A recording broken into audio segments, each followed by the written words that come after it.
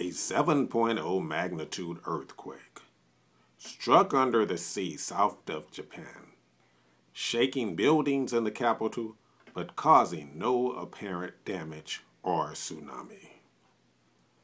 The quake struck near the uninhabited island of Torishima in the Pacific Ocean, about 600 kilometers south of Tokyo, and its epicenter was about 370 kilometers below the sea. Breaking Internet Radio News. Japan earthquake magnitude 7.0 hit South Japan's Pacific. You hear it here.